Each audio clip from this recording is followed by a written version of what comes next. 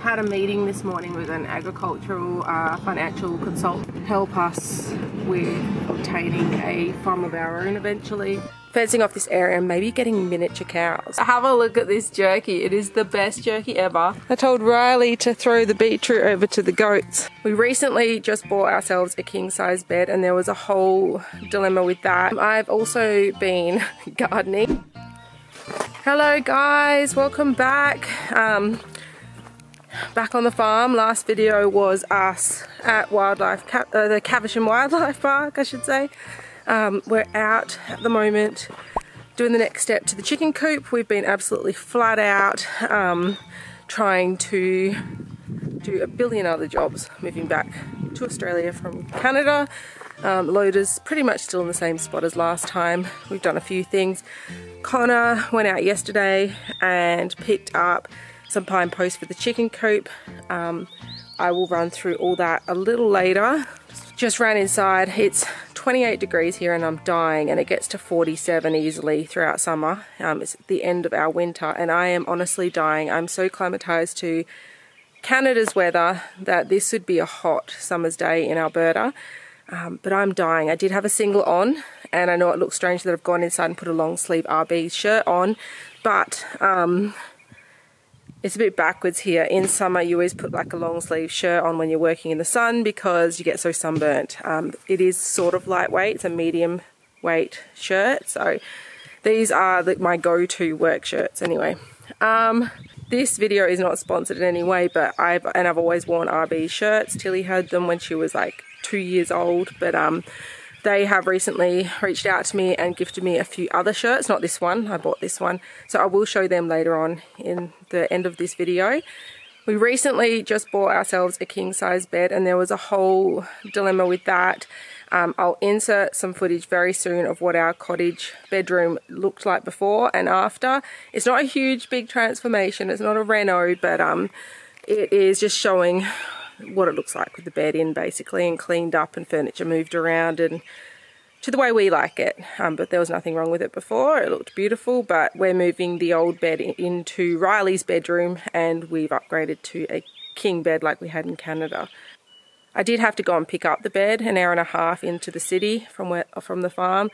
I loaded up the trailer and, and went and um, they gave me all the right pieces but I didn't check the bed slats and they gave me a queen size. So we had to wait a week after for them to deliver it, which was nice that they came out and delivered it. But man, when you've been sleeping on mattresses all in Canada because we sold all our furniture and then coming here and you know, we're in a softer mattress. Dad likes softer mattresses. We like firm mattresses. It was very exciting to finally get our own bed again and then I drive all the way to get it and we can't even install it. So but yeah, I'll show you guys a um, bit of footage now of a before and after of our bedroom.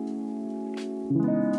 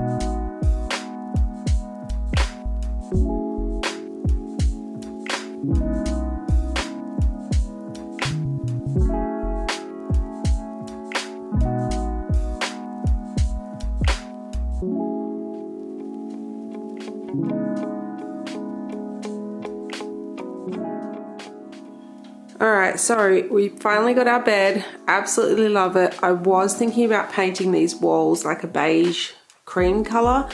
Um, but now that we've got the white bedroom suite in, I've decided I actually quite like the blue. So we did paint that blue wall back in 2015 when we lived in this cottage ages ago, almost what eight years ago. But um, yeah, I think it actually suits quite well. I went with a Target bedspread. The bedroom suite was from Furniture Bazaar in case anyone is wanting to get the same one as us. We're not sponsored in any way. Um, I really, really like the farmhouse style look of the white wood with the brown. In every single house we've always lived in, Conor's always had his own little like space on the floor where he just shoves his stuff. It doesn't matter how much cupboard space we have. So that's his little nook there. um, we are eventually going to move this huge cabinet. It's Jarrah and it's very, very, very heavy. It took four people to bring it into this room. Um, my dad purchased it and he's decided to keep it in here. So we're lucky and we've got it has so much cupboard space in it, but it only holds my clothes because I just have so much. Anyway, we do plan on moving it further to the left here and then moving that white cabinet over to that corner when we've got the manpower to move it. I haven't purchased any lamps yet for the side of the beds, um, bedside tables. So we're just using my dad's little butterfly lamp for now, which is really cute. It actually is really cute, but just does not go with this style picture of my sister and I when we were kids, live near the beach. Currently reading this book. Um, I just have not had the time to get that far into it, but it's really good. It's giving me McLeod's Daughters vibes. The girl's name's Claire. Um, it's about her dad owning a farm and her having to she's a city girl more more a city girl than a country girl so it's very much like McLeod's daughters but instead of Tess being Claire yeah it's role reversed with the names um, yes, I do recommend that book so far. I haven't read it all yet. But yeah, just thought I'd show you guys a new bed, big firm mattress, king size. It's just amazing. Absolutely love it. Oh, and I bought these from Target. So this one here, oh no, this one was from Kmart, I think. Um, just another throw rug. And then this one was from Target, or maybe the other way around. Either way, Target Australia and Kmart Australia. I know that people say that there used to be Kmart in the US years ago. It is completely different. It's not the same Kmart as the one we have here. Um, I've also been gardening, which I use that term very lightly. I'll insert that footage here. Alright, so we've got a bunch of these frangipani cuttings. I I am not even going to pretend that I know about gardening because I don't. I don't even know if they're called cuttings, but dad got them and he wants me to plant them. So um, I'm going to try and attempt to grow these and I'll update you guys once they've, if they actually grow. Um, I don't even know if you're supposed to cut the bottoms of these again or just plant them straight in like that. But um, I've tried Googling it, couldn't really find much info. But um, yeah, hopefully they, they work.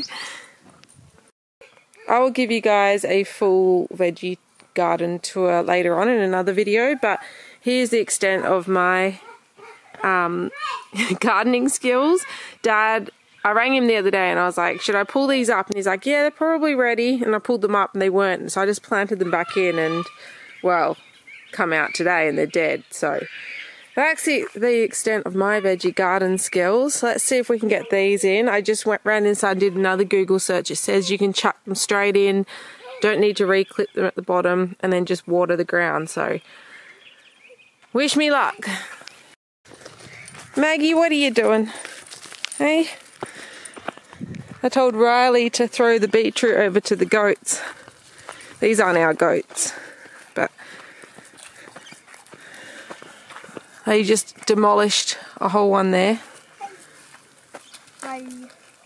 Pretty quickly. What are you doing, Mags?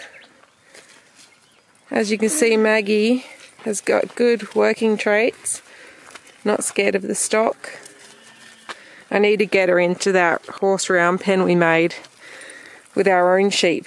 But we haven't got our own sheep yet, so got to get her starting starting the beginning stages of training, but Time is not my friend at the moment. Alright, back to frangipanis. Alright, Riley's over there keeping an eye on Maggie. Um, I've planted one here, one here. I need to mow the lawns this weekend. Um, and I know that this doesn't look like much of a garden, but we do have plans for this back area, which I'll explain later on. But um, we are going to make like a rose garden through here and put some limestone bedding and all that. I'll explain that in another video. I've also planted one here, um, which Maggie hopefully does not rip up because she's in a major chewing stage. Good girl. And then one here. These ones I thought I'd keep for my dad for his new place. See what he wants because he might want to plant a garden right next to his. Maggie! You're honestly like a third child. Stop, honey. Um, yeah, he might want some for his little garden area. Ah, ah, ah. Not toys. You're a big doofus, aren't you? Hey? You got to go for your last vaccination soon, and then you can explore more of the world. I. You're growing up quick, Maggie girl. I uh, just made a little tribute video for it with Chris Stapleton's song, Maggie's song. I did not realise he had that song. I'm a Chris Stapleton fan, but had no idea about that song for some reason. So, um, yeah, I didn't name her after that song, but it suits well it's a really nice song, but also a sad song. So I cut it out to the, if you listen to the lyrics of Maggie's song, I didn't make the tribute on Instagram if you want to go check it out. It's on Instagram. I didn't do the whole song because the end ending's a little sad. But yeah, go check it out on my Instagram or my uh, Facebook page, Bec Out West. I share the same stuff in both places. And now today I am going to jump on the lawnmower, mow the lawns, I'll show you where in a sec, um, and while Conor's going to start drilling some of the holes for the chicken coop. So Conor's currently up here in our round pen. Um, we built this back in 2015. Um, if you don't know what it is, it's a big horse round yard, round pen you call it in Canada, and I'm sort of sticking with that. Same as in Canada, you call it a horse trailer. In Australia, you call it a horse float, and I'm sticking with trailer because float just sounds so strange now. But um, when we're all gone, because my dad doesn't ride, and didn't, no one had horses here. Um, he sort of let a tree accidentally grow in the middle. So Conor chopped it out, but the roots are so deep, we're trying to burn it out before burning restrictions are put into place. Because in Australia, just like Canada, we get a lot of fires and we get burning restrictions put into place, don't we, Conor? Yeah. Oh, yeah, you should probably say hi. Good afternoon. um, yeah, like harvest bans and movement bans, different categories of fire restrictions. Yeah, we get different. Mo- yeah, movement ban is where you can can't drive in the paddock because it's so hot that even the car or the tractor or whatever could start a fire. Um, that's when horses are good. Hmm. Then you get what was it? Movement ban. What's the other one? Yeah, you get the harvest ban. Harvest ban where you can't harvest. You're not allowed to do any work in the field. The only thing you're allowed to do is check livestock water troughs. And then the movement ban is like a complete no movement of heavy machinery around property, I'm pretty sure. Yeah, and then just normal fire ban is for everyone with hobby farms or small suburban blocks anywhere because it would be that hot and dry that, yeah, you just can't. And that's where volunteer firefighters come in, um, and I'm, I'm looking at volunteering um, at our local one just down the road from us. Um, I've got all the number, I just need to make the call, but I'm just waiting till I've got a bit more time put into place. Oh, here's Maggie, she's here. Just looking for Maggie. We knew she was out here, but she's just here. Um, yeah, a bit more time for me to go in and hopefully when they've got a training day I can go down. Might not be for a couple months, but I do want to do that. Um, I, have sort of been put off doing it. When I was a teacher, I wanted to do it in our local town. Um, but you had to be readily available and I couldn't just leave the class and leave all the kids to go tend to a fire. So now I'm in a better situation where I can do that and I'd like to do that, meet new people and do something for the community. But um, yeah, I'll show you down in this chicken coop what Conor's got plans for it before I start mowing the lawns. Okay, so we just went over to Dad's other shed on the other side of the property and picked up this wire. I'll insert that footage now. So the other day we, when I say we, I mean Conor and Riley pulled apart this very old chicken coop that was here before my dad even bought the farm. Um, and we're going to reuse this gate standing up here, here, here, here. And um, we're pulling a bunch of the wire over here and reusing that and some of that tin as well. So some of the stuff is new, like the pine post, but everything else, well, not everything. Half of the coop will be reused. What's wrong? Hi, hi. Hi. All right, so we're trying to cut into this down here. um, when I say we again, I mean Conor. No, I'm helping. But he did not tell me to bring my gloves over. I thought we're coming over to check out. One of our mates is taking his cows and he came down to yard them up and put the yards up, the cattle yards, but he's gone off to go get the truck to take them back to his farm. The kids are arguing, which is great. All right, just rolling it out. Maggie's learning to tie up, so she's not on her best behavior right now. Perfect, fits absolutely perfect. no, we're just driving on the farm, so uh, this is not roadworthy, but uh, it'll do. I don't know if you guys can hear the pump going. But dad has many leaks around this property. um, we've been trying to figure out, for those that don't know, every time there's a little bit of a drip or a leak from one of the taps under the ground, like the pipes, it automatically turns the pump on to refill the water line again. And Conor fixed three and then the pump didn't turn, it was turning on like every three minutes so we would flick the power off in the house every time we weren't using the water then when we needed to flush a toilet or use the um, shower or wash our hands or anything we'd go and flick the pump back on Conor's fixed three leaks. It got it to a point where now it's every 20 minutes the pump will turn on because there's some sort of slow leak somewhere. Conor's worked out part of the veggie garden needs fixing, one of the taps, but there must be another leak somewhere else. So that's another project. You've always got projects when you live on a property. Um, Conor went yesterday and sourced out three meter poles.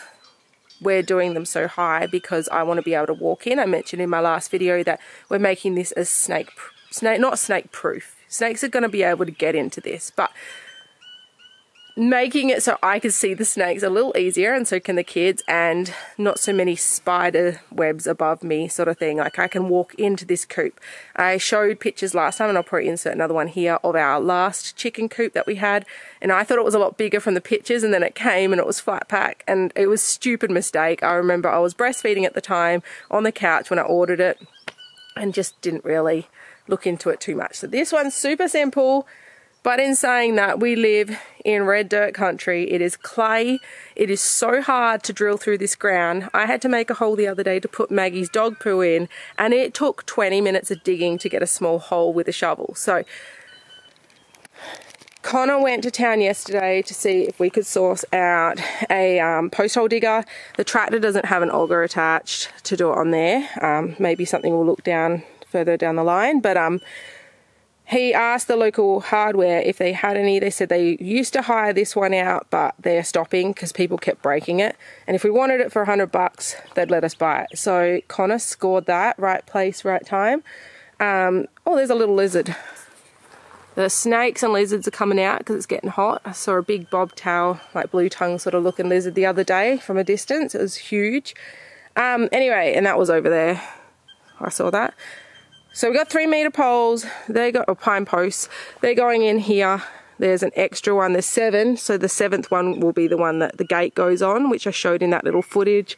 Over at the other side of the property um, that we're reusing, a lot of the coop is being reused. We'll have to buy some extra wire though. Um, Dad's already got the shade cloth mesh like that one that we're going to put over the top and then we're concreting these in. Conor's going to start this. He's procrastinating like hell because he knows how hard it is, even with the post hole digger, to deal, dig into this ground. It is just ridiculous. In 2018, 17, 18, um, well, 2016, we bought our own 40 acres, um, not far from my dad's property, and we were turning it into a horse agistment.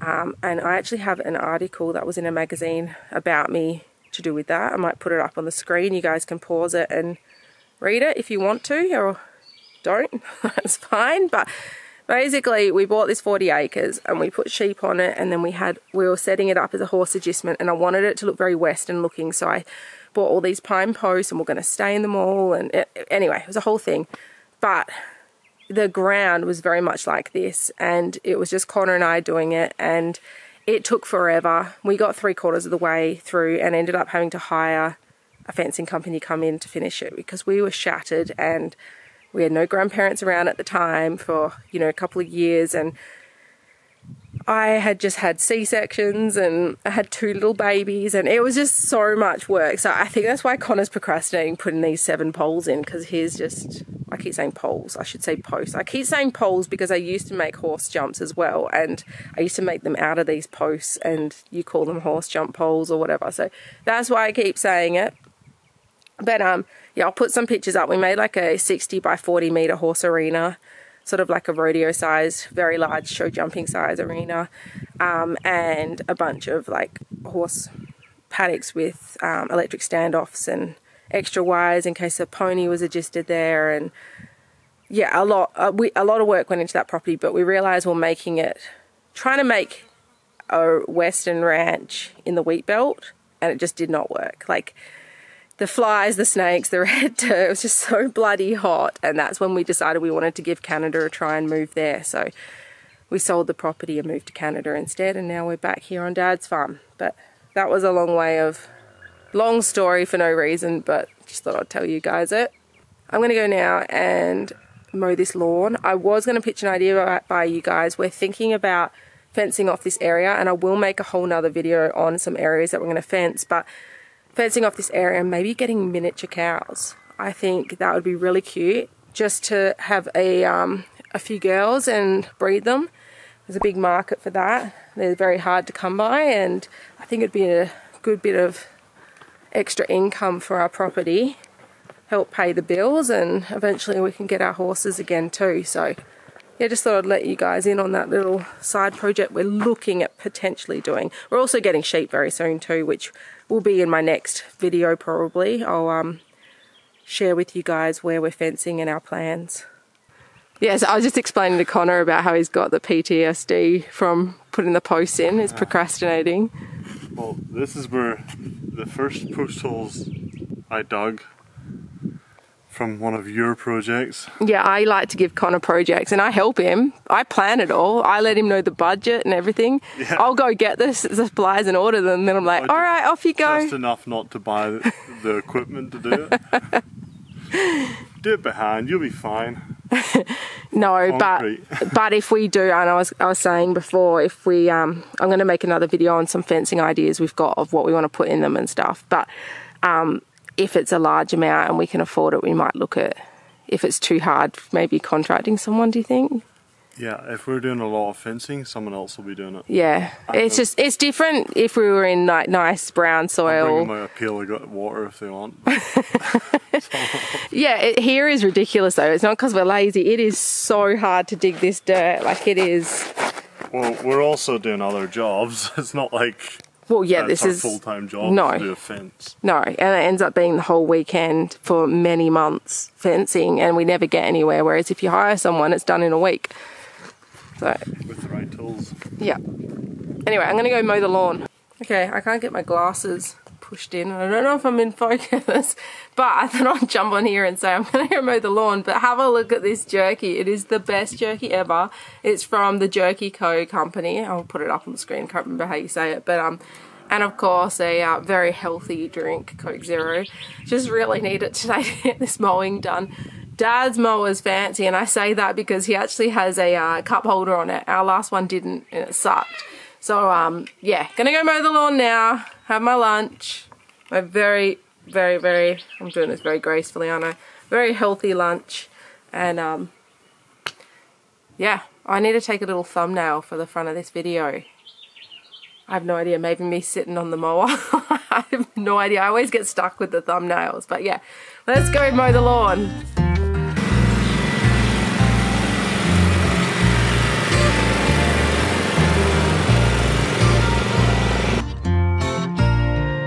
Heart that burns, baby. I got a tree that yields fruit. I got a clock that keeps on ticking. I got a ship that sails true.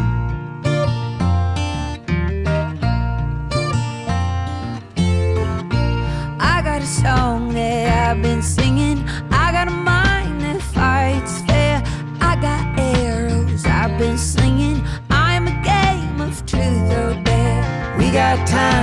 We got bones, we got spark. Alright, fuel's running low and the battery ran low on the camera. I just had to go in and change it over so that time lapse of me mowing the lawn didn't exactly go to plan. But uh, yeah, the lawnmower's running low in fuel. So I've got to go over to the big shed and go get some more petrol. Whew, it's hot in here. It's really weird driving an auto.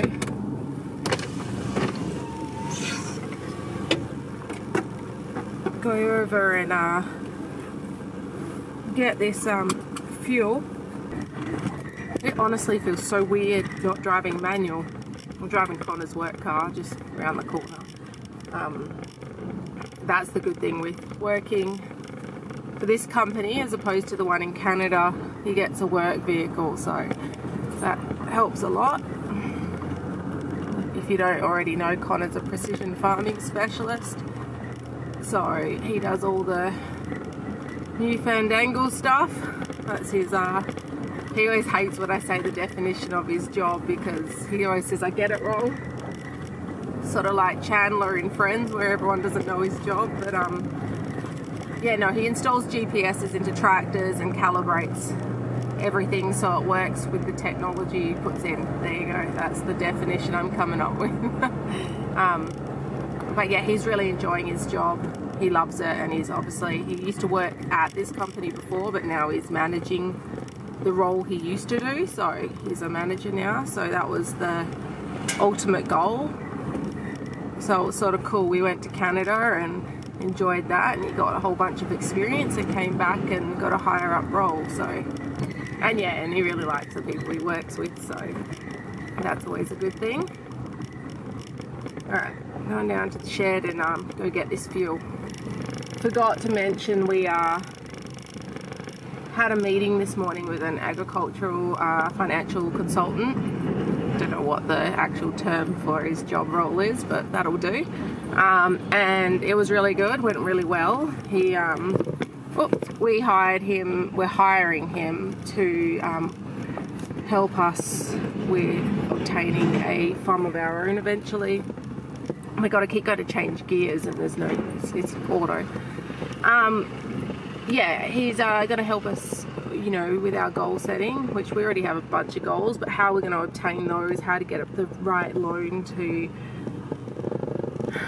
eventually own our own large you know huge huge farm eventually have at least you know a thousand head of sheep and a few head of cattle. And we're mainly going to focus on sheep and we'll just have a few cows but um yeah, it, it's quite exciting. We've got a year goal so far, and we're going to be chatting with him for a long term goal. You know, it's second year goal, third year goal, and go from there. But um, it's looking very exciting, very very exciting. Nervous but exciting. And my dad's mate, well, he's our mate too, who's keeping the cattle on the farms, taking them away today, and then um, other friend is um, taking his sheep away. I think in October, roughly on my dad's farm and then we're going to let the paddocks rest a bit and then eventually put our own sheep on which is for another video. I'll explain all our plans in another video. Man, I am so filthy. I know it probably doesn't come through through the video but when you're uh, mowing the lawn, I've got it at the second highest one but um, when you're mowing the lawn it um, all the dust here in the wheat I mean there's only a bit of lawn on top and there's just so much dust but um, it's all everywhere. It's insane. Anyway, to get the fuel now and take that over. Empty. Let's get this one. Okay, they're all empty except one, so I'm gonna have to fill this one up after it's done. Fill a few up during the week when I take the kids to school. I thought I'd jump on here and say Riley doesn't go to school. I always say kids to school. I just mean he comes with me for the school drop off. Riley is in supposed to be in kindergarten this year, but um, we're keeping him back home. He's fine, and um, he'll start in pre-primary is backwards here in, in Australia. Pre-primary isn't kindy and kindy isn't, I know.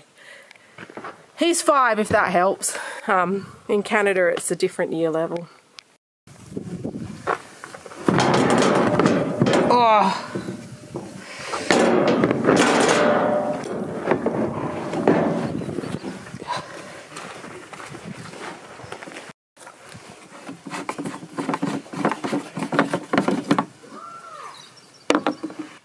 Well, I don't know how I'm going to film this, pouring it into here at the same time as actually doing it. Hey Tilly, want a job? So Tilly's going to film. Good girl. Wow, I put fuel in it and don't spill it all over my jeans.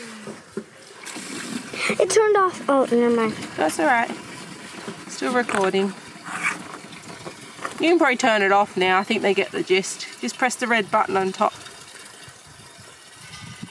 See the red button on the very top of the camera? Where? Bye bye. Bye bye. Bye bye. Failed. Bye bye. What's Dad doing for you right now instead of doing Making the? a trampoline. He is putting together the trampoline we bought you. Two a week last week. The kids have patiently waited, but it's another procrastination from Conor because he doesn't want to put the chicken together. He doesn't want to drill those posts in, does he? Hopefully the trampoline will be in by today.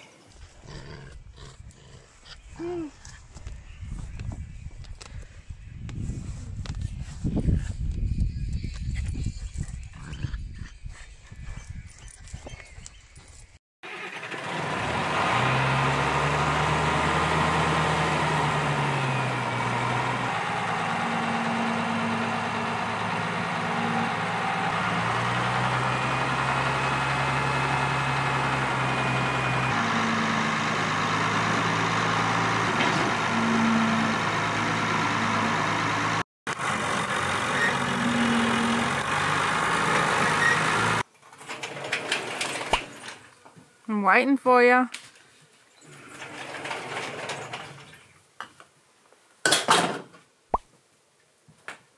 What you got? Oh, Some Kentucky whiskey. Nice. Where's yours? I had a cider earlier, but I'm, I'm not drinking. Um, we are shattered. I am covered in dirt. I still don't know if you guys can see that, but we're tired, yeah? I can see it. Okay, thanks. Um, finished mowing the lawns. Uh, Conor put up the whole trampoline that, and I I did mention before that I should correct. We did not buy the trampoline. The kids saved up their money, and then I said, "What about if you combine your money together and buy the trampoline?" So that's their first big thing that they've bought, isn't it? Yep. And we're glad because I'm sick of them buying silly little toys, and they just Well, they just have so much toys that they never play with. well, we so sold most of the toys or rehomed them in we Canada. still have a lot. in Canada, and they still have so many that they brought over, just little things that just sit there, and they they've grown attached to them, and yeah. Anyway, so Conor didn't do the the pine post. Um, I I put the chicken wire in. He's put the chicken wire in. I'll put footage over the top. And when he I- says he put it in, I uh, I put it in the hole, and Yeah. that's it. he laid it on top. That that's it. Like he just literally lifted it and went done.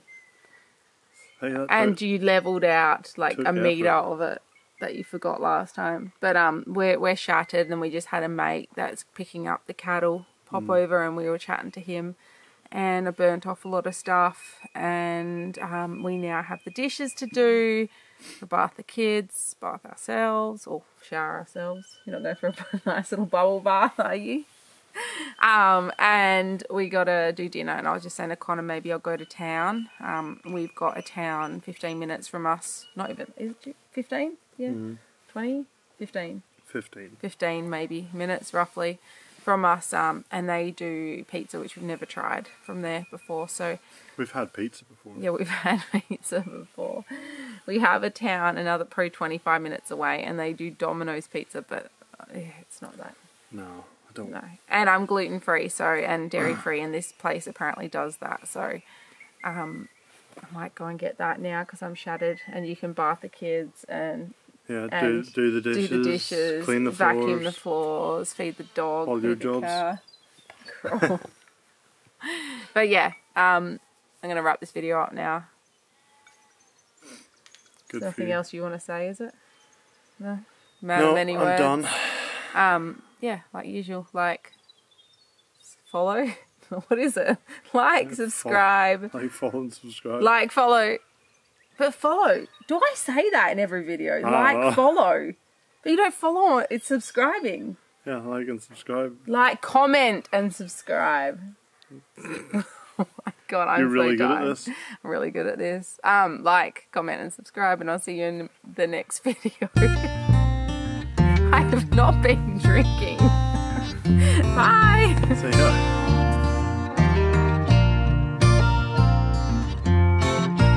I got a heart that burns, baby. I got a tree that yields fruit. I got a clock that keeps on ticking. I got a ship that sails true.